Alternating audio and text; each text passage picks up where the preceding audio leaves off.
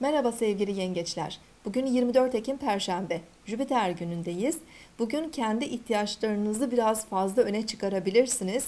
Ee, ancak kendinize çok fazla e, yüklenmemeye de dikkat edin bugün. Çevrenizdeki kişilerin beklentileri bu dönemde artabilir.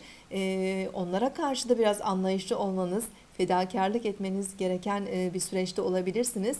Bugünkü şartlar e, iletişimlerinizi kolaylaştırıyor. Kendinizi rahatlıkla ifade edebileceğiniz gibi karşınızdaki kişinin de taleplerini çok rahatlıkla karşılayabilirsiniz.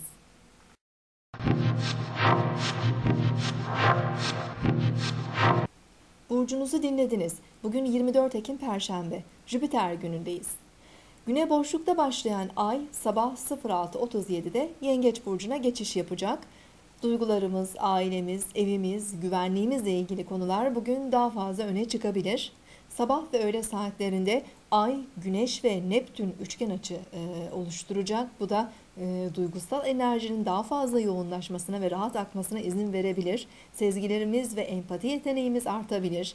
Bu durum yaratıcılığımızı da arttıracağından özellikle sanatsal çalışmalar için de çok faydalı olacaktır. Gün boyu yakınlarımız ve ailemizle e, duygusal paylaşımlarımız yoğunlaşabilir. E, iyi ilişkiler kurabiliriz, evimizle ilgilenebiliriz. İş girişimleri için de e, gündüz saatleri oldukça verimli görünüyor. Gece saatlerinde Ay, Uranüs ve Plüton'la sert etkileşimde olacak. Bu duygusal olarak biraz baskı yaratabilir üzerimizde. E, akşam saatlerinde, gece saatlerinde bu enerjileri dengelemek için dinlenmek ve biraz yalnız kalmaya çalışmak daha doğru olacaktır. Yarın tekrar görüşmek üzere. Hoşçakalın.